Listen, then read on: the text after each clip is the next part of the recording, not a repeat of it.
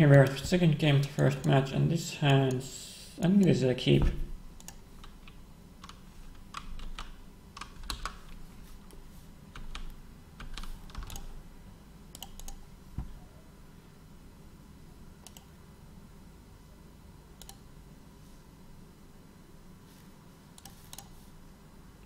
Uh, he did not play Sensei's Divine Top, so I'm gonna just Thoughtcast here instead of betting Picking Hill.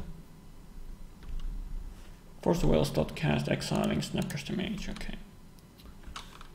Okay, well, that resolves. I hope to draw land, so I'm Cranial Plating.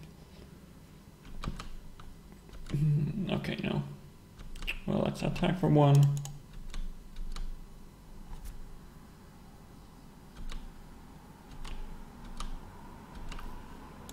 I'm gonna just Pithing Needle Sensei's Divine Top here. For the long game, even though uh, it might be that Chase ends up mattering more here. And play this against Signal Pest.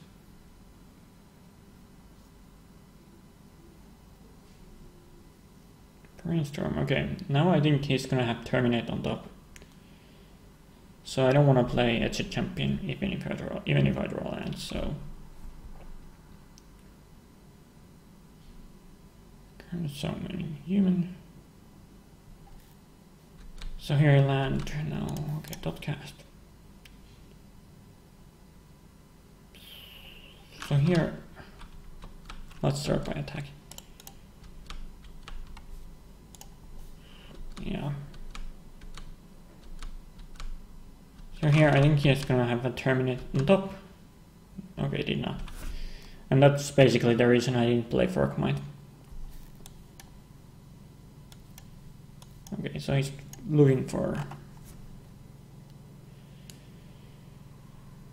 for a terminate. So basically, I need to draw a land so I can call cranial plating and attach cranial plating. Macarius, okay.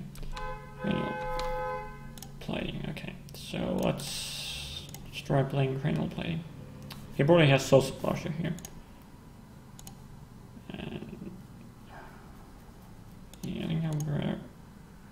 Attached disruptor and as much damage as possible so let's play a Frogmite now.